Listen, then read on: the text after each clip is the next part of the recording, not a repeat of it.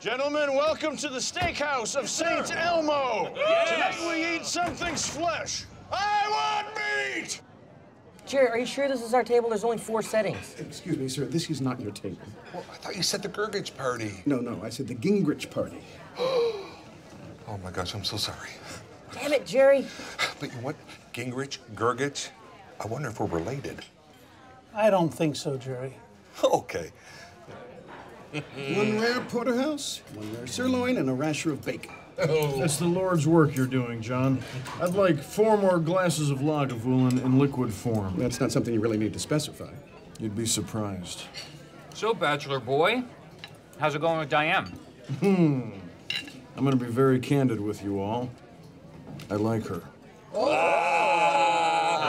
Okay, okay, okay.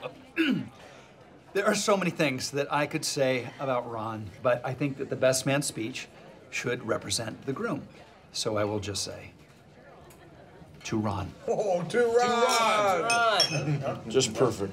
Perfect, Chris. Here you are, sir. And I thought you might also like to know that your meal has already been taken care of by Mr. Hibbert. What? What's up, Jello Shot? Hey, man.